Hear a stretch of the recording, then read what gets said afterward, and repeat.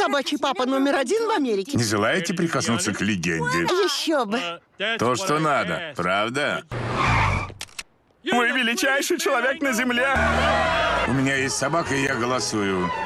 Отныне наш город станет собачьей столицей мира. Благодаря принятым необдуманным законам, Спрингфилд стал самым собаколюбивым городом Америки. Собачий приют, собачья площадка.